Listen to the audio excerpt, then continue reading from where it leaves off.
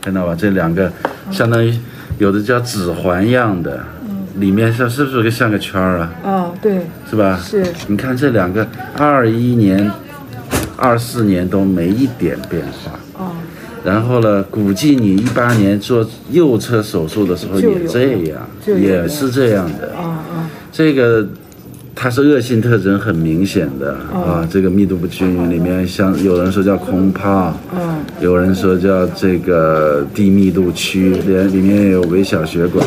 嗯。那它不变化，说明它就停止不动，嗯就像休眠状态，就像肿瘤那个种子埋到地里面。不生长不发芽，哦所以你说会不会悄悄的变了？有可能。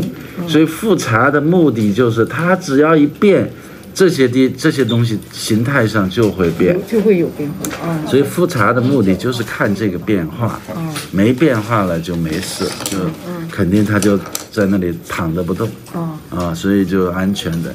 你做过右边的手术了，做左边这个虽然恶性特征很明显，嗯切下来可能也会报什么微浸润，甚至有的还我碰到过有报浸润的，但是都没关系，它只要不动它就没关系啊。所以我们的原则就是不变不动，哦，就是不变化不动不。动。